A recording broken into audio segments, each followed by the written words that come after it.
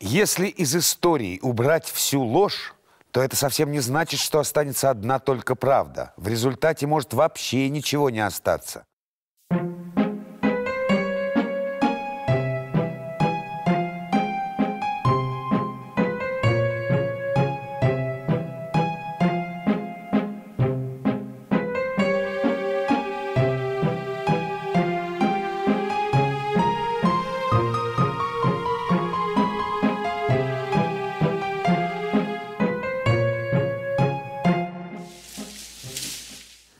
1779 году в Петербург приехал граф Калиостро и стал показывать свои целебные чудеса. Есть предание, что Калиостро побывал на даче у графа Строганова. Наделав повсюду долгов, Калиостро скрывался в погребе у Ивана Перфильча Елагина, где пил почти за поем. Отсюда Калиостро был потихонечку вывезен в кибитке со своей женой и доставлен в Метаву. В провожатый Елагин дал ему одного старого солдата. Иван Перфильевич Елагин не любил, чтобы другие ели, когда у него нет аппетита. Ходили гулять, когда у него болит нога. И вообще делали то, что он в данный момент делать не мог.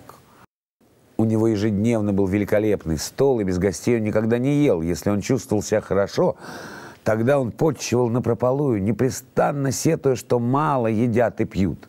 Когда же у него не было аппетита или доктора запрещали ему есть, то он говорил – как это люди себя не берегут и предаются излишествам в еде и питье? Елагин был директором театра, который он страстно любил.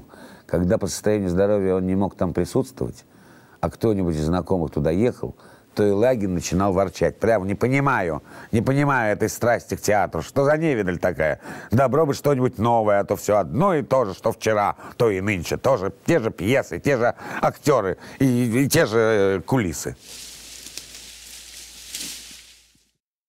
Князь Потемкин был могущественнейшим лицом в государстве.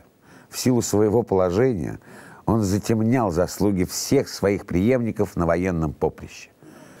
Много неприятностей причинил Потемкин и Румянцеву, но последний никогда не жаловался на это, а только избегал разговоров на эту тему. Когда до Румянцева дошло известие о смерти Потемкина, то он не смог удержаться от слез. На недоуменные вопросы он отвечал – Чему вы удивляетесь? Потемкин был мне соперником, но Россия лишилась в нем усерднейшего сына –